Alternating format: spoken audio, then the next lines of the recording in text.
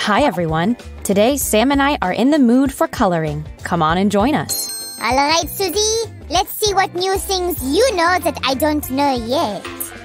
Oh, Sammy, get ready to be impressed. Whoosh. Ah, you want me to work on the same picture? Okay, then.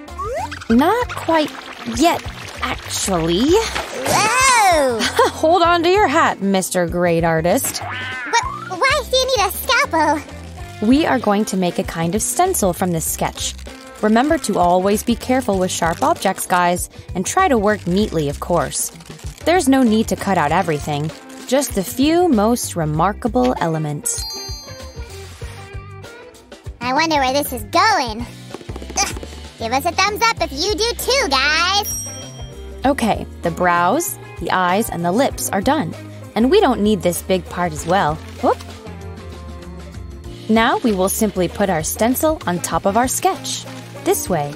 Uh-huh. The cutout parts perfectly align with the same elements on the sketch. That's right. And just to be safe, let's secure the whole thing with paper clips. Here we go. Shiver me cheddars, I think I got it. Now we're going to simply paint those parts with a brush, right? Well, you've got the point. Only instead of a paintbrush, we'll use this. Shiver me chatters, this is gonna be fun. What do you say about all of these colors? Looking cool, huh? Holy cannoli, let me come up closer. All right, you can proceed now, Sue. Let's roll.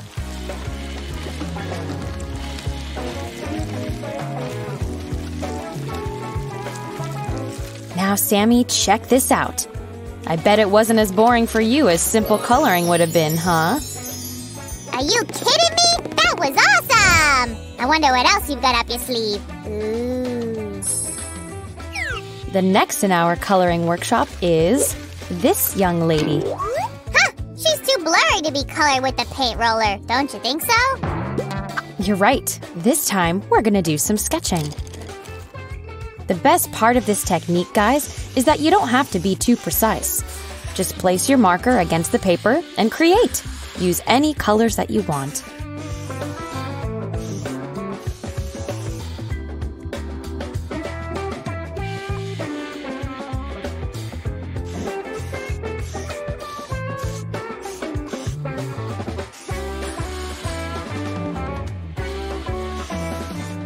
You can easily switch the width of the lines you're drawing by switching the chisel tip to the brush tip and back. Wow, what knowledge! The chisel tip will work best for the eyebrows if we use it like this. Up, up, up, up, up. We can even add some shades and mix colors. Here we go. Okay, Sue, I want to try to do that too. Ah, what a bright color. Awesome. Ah, I love that. Sammy, where'd you go? I've got a terrific idea, Sue. Finish that sketch without me. Oh, Sammy and his ideas.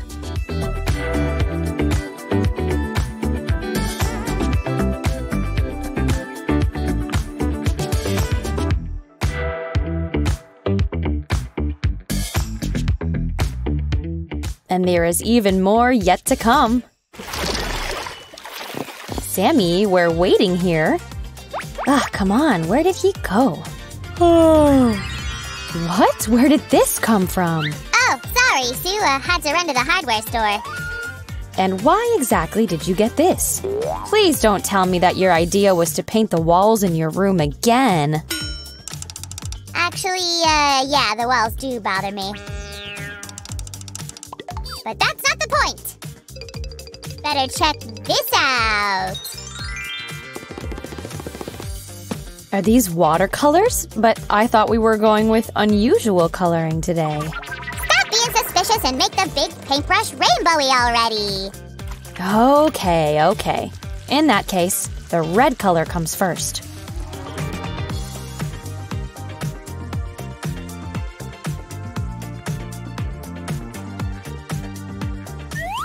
Guys, you can use any colors you want, while we prefer the Roy G. Biv palette. You know it, right?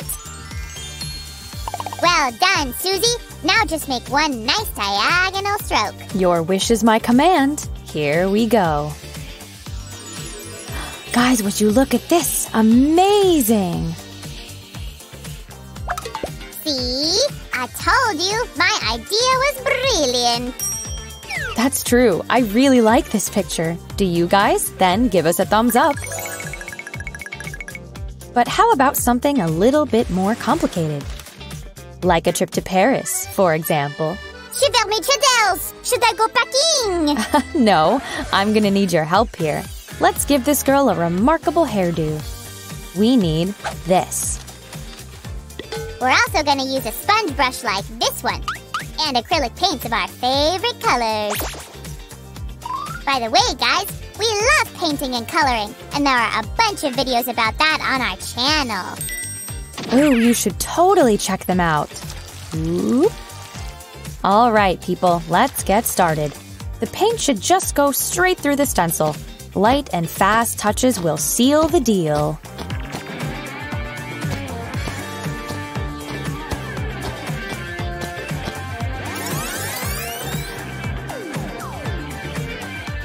Important thing here is to work sequentially. Sue is doing the very first layer. And I'm gonna make the second one. We'll carefully take the first stencil off of our picture and let it dry. Only after that can we move on to the next step. Roses are red, violets are blue. Slime Sam with a sponge, a great picture can do! You see? Easy peasy. Nice poem, Sammy. And well done with these clouds and a moon. But we've got to move forward. There are three more layers to go.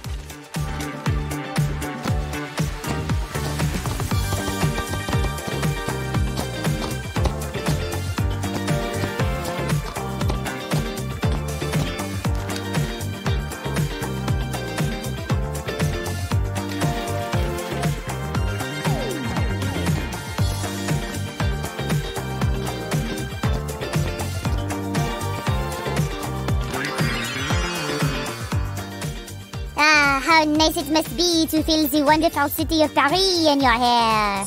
You don't say, Sammy. Now, this little Eiffel Tower will help us finish a few tiny details. And that's it. Watercolors will help us out with the makeup.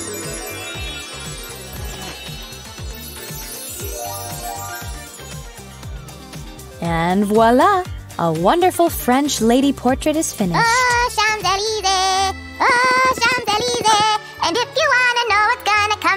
here, then you had better stay with us, don't go anywhere. Welcome back, guys. And here's one more girl without a hairdo so far. What are we gonna draw in her hair? New York? London? Tokyo? Actually, this time we'll go with some sparkly glitter. But first, we need to draw the outline of her hairdo with glue. Here we go. Ooh, I'm gonna go get all the sparkles from my secret stash. I know Sammy loves shiny things. Guys, you don't have to really be precise here. And by the way, you can make anything else sparkly on this portrait. I'm gonna add some glue on the girl's lips as well. Ready to see my precious collection of glitter? Haha! Wow, Sammy, you really brought everything you had. And note that not everything is pink here. Well, in that case, I want to start with the darkest hue. Here we go. Guys, you know that you can totally follow your inspiration with this craft, right? Oh, yeah. Get creative, and you will get a one of a kind, very beautiful, and sparkly portrait. Susie, do you mind? A little bit over here. And just a pinch right there. I like this type of art.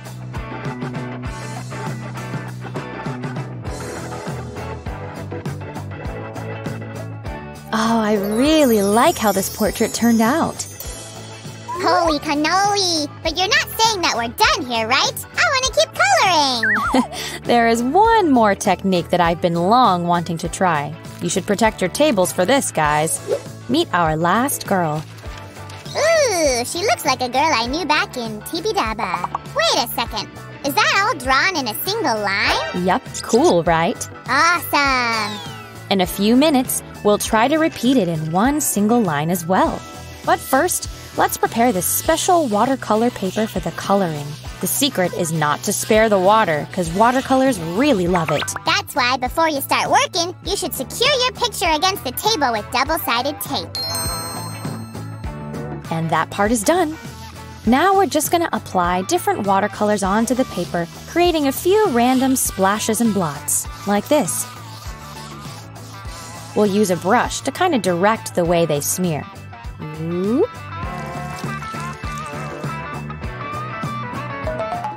That's a very professional color blending, Suzanne. Thank you.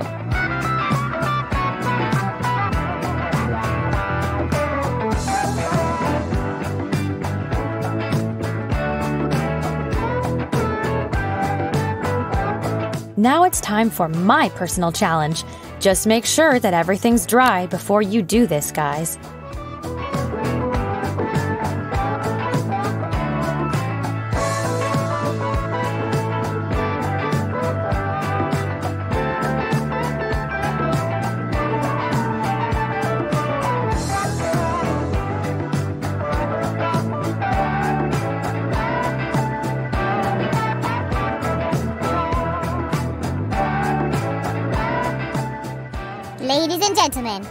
We let Sue finish her last piece of art for today? And in a couple of seconds, we will take a look at everything.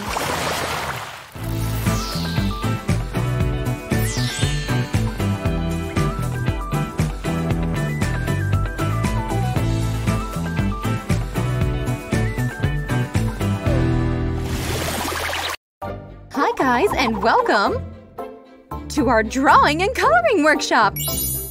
Try and guess what I'm drawing here? This magic creature will grow a beautiful mane in quite a bit. But for now, let's draw a little eye so that it could see us. Here goes a cute little ear and a rather long and strong neck. Does it look like a horse, huh? We will add this decor piece just to make this creature happier. Uh-huh. And now check this out. One, two, three, and a magic horn. I'm sure you've guessed what we're drawing here right away. Unicorns are my favorite fairy tale creatures. They are so beautiful. Oh, look! This little guy is winking at you! he likes what we're drawing here. Did you know that unicorns can run really fast? That's because of their strong legs. Here's a couple of them. Now let's draw the front legs. Don't forget about the hooves. Hop and hop. Unicorns don't usually go too far from rainbows. Ours will have one right on the background. Now that this drawing is almost complete, we need to make the lines more visible. Just take a wide marker and outline everything that you've drawn.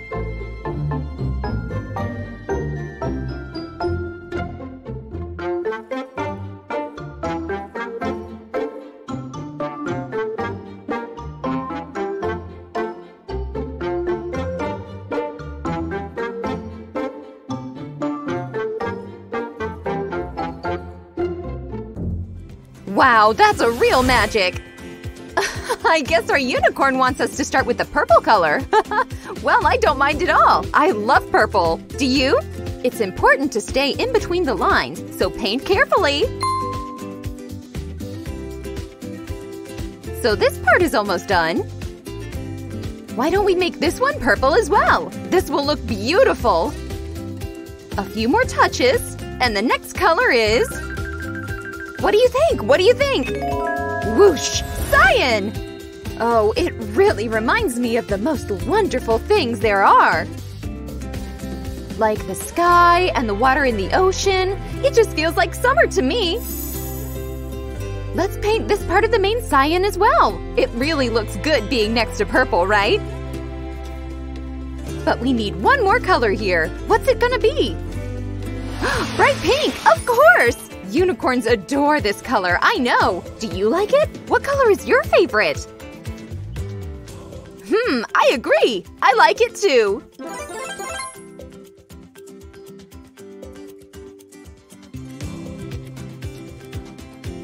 Ooh, we've got a heart spot here. I'm gonna do my best to make it colorful.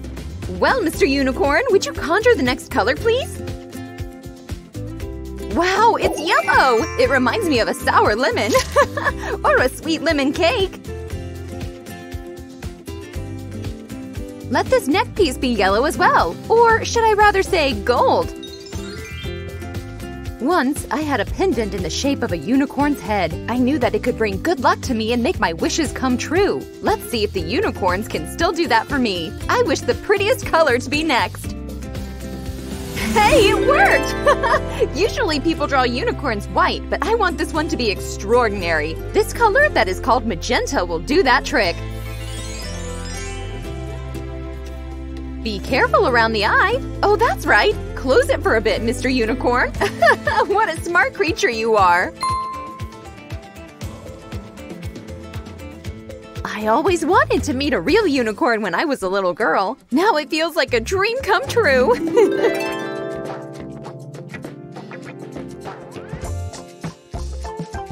Just a few more touches and the neck will be finished. I like how it's turning out so far. And we're moving on to the unicorn's body. Even though this part of our picture is quite big, I prefer not to switch my paintbrush to a wider one. It is just more comfortable for me, and this way I make more or less even strokes all the way around this painting. Here goes one more leg. You know, even though there are some rules in painting and coloring, still the most important one is to have fun during the process.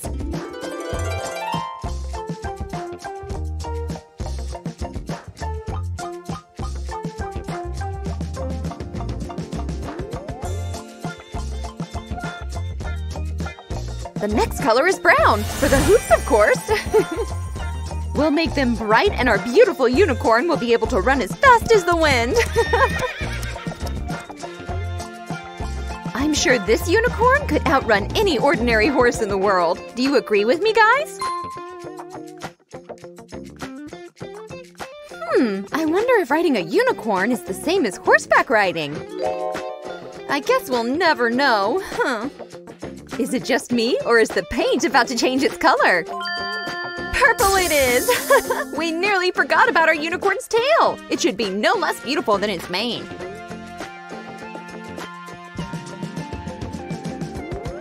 So why don't we make the center of it whoosh orange? What do you say? I really like how orange matches with purple. Such a bright palette. Now that our unicorn is perfectly colorful, it's time for us to deal with the background. And this time, I'm going to work with markers. Firstly, because this way the unicorn will show up better. And secondly, I love coloring with markers. there is one important thing, though. You should make all of the strokes in the same direction. See? This way the picture will be more beautiful. Okay, next we'll take…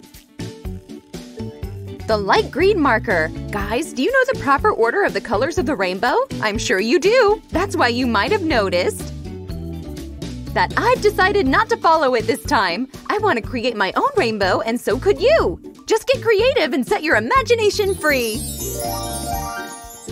After the grass green comes golden yellow. Just check out how differently the unicorn begins to look on a bright background, right?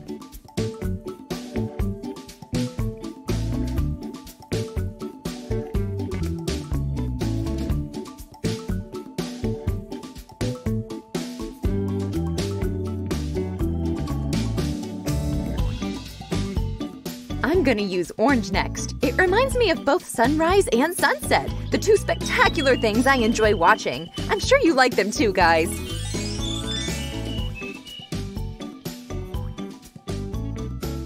Now comes this part of the rainbow. And we're at the finish line. Just a few more strokes here and there. And here comes the last color for today. It kind of looks like a tasty berry. Mmm, here we go. Hey, look at that! Our Mr. Unicorn even closed his eye imagining the berry I was talking about. or maybe he's fallen asleep. In that case, have the sweetest dreams, little magic creature.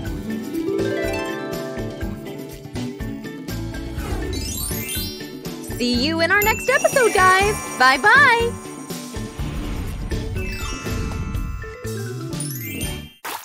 Hi, guys!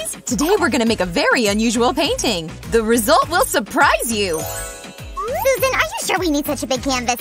Don't worry, Sammy. Everything is thought through. Go! I need space. Ugh, well, you would know. Ugh, but I bet you need this. Thanks! Your help is always right on time. And the main thing in every painting are paints. Er, I need this too. And this. I really like to draw with acrylic paint. Yes, they're so bright! You said we won't need brushes, so I brought some Q-tips. I like it!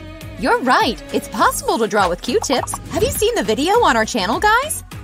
I strongly recommend you watching it. Trust me, you won't regret this. So, Sue, are we gonna use them or not?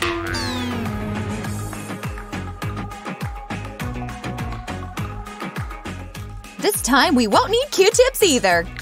Sue, if it's not a sponge, I don't know what to bring. Think more, Sammy. Ugh. Is it a painter's brush then? Nope, I'll be drawing with my own fingers. The cool thing about paint is that you can mix any color you want using only red, yellow, and blue. Susan, what about protection? I'm guessing there will be paints everywhere. Guys, if you're not sure your hands are firm enough, you should put on an apron. But you're gonna be careful, right? The real masters don't need protection. Let's get started!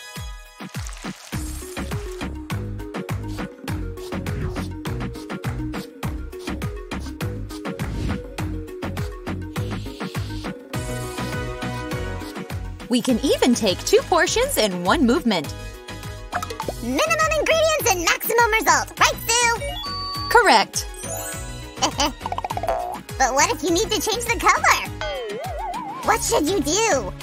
As always, you just need to change the brush. Let's draw a face. It's very easy. Considering the colors, I can conclude it's a scarlet macaw. Wow, Sammy! How did you know? I'm really impressed.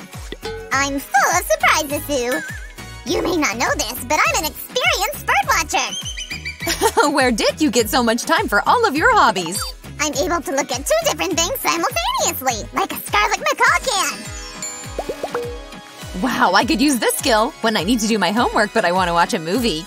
Guys, stay tuned if you want to know what's next. So it's my napkin!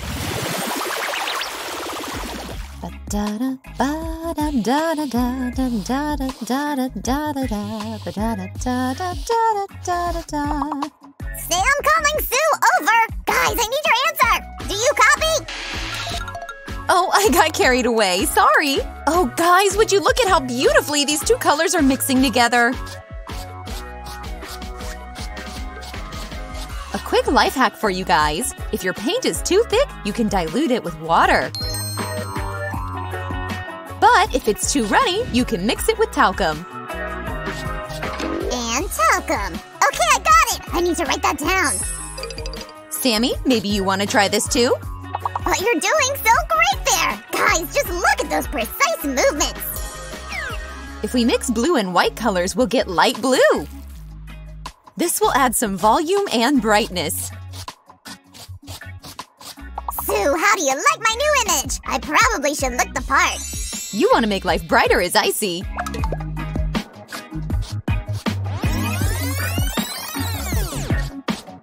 Seems like I'm petting a canvas as if it's a hamster. yeah, Coffee's worried that we could bring a parrot like this one home.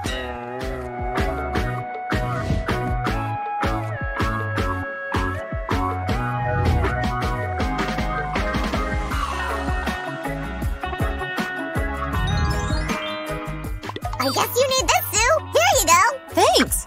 You always take care of me. What would I do without you? I just don't want our painting to look dirty, Sue. Oh, really? Okay, why don't we add some dark hues at the sides like this?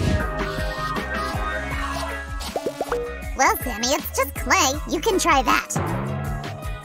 Shiver me cheddars! How do they actually eat this? Sammy, what are you saying? Clay is inedible! But I read that scarlet macaws eat clay! Ugh! Yes, to neutralize plant poisons, they have special ferments for it. Thank Dibba I'm not a scarlet macaw then.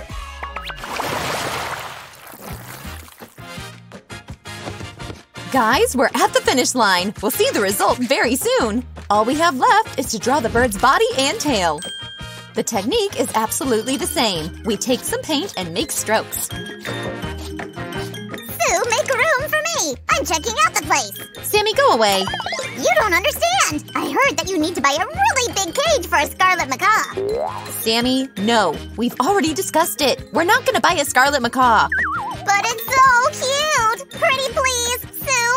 Have one! I'll draw our parrot a tail, and it's not gonna be so sad not having him at home. You're right. We already have so many pets. I don't want them to get jealous. Phew! That was close!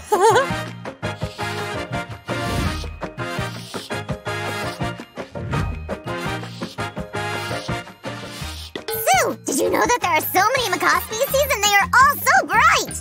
Great green, think Sammy's really enjoying making parrot crafts. Don't worry, Sammy. Now you have the technique, so you can draw whatever macaw you want. Guys, by the way, you don't need to copy me. You can choose your favorite colors for this craft. There are so many beautiful birds in the world that we need to make a schedule. Let's see. Well, we could draw a colibri on this day. Here we'll draw a swan. And this day, maybe a sparrow. Oh, wait. No, let it be a mandarin duck. Oh, Sammy and his vivid imagination. Oh, Sue, how's it going with the painting? We're almost done. I bet the guys can't wait to see the result. I think red will look great on the tail. If you agree, give us a thumbs up, guys. Painting with your fingers is a great way to spend time with your friends and parents. Sue, can you sew me a hat? I need it. Is it a dress-up day today? I'm just trying to find a proper outfit for a Parisian exhibition. What? An exhibition in Paris? When is it gonna be? We've got to draw a lot of paintings then. Then you take care of the drawings and I'll choose the outfits. In the meantime, we're making the last touches. Here we go.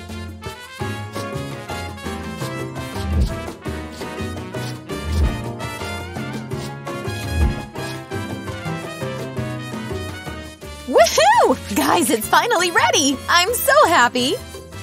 I totally love this drawing! Wow, that's really something. Guys, do you want to see our beautiful craft in all its glory? Then follow me!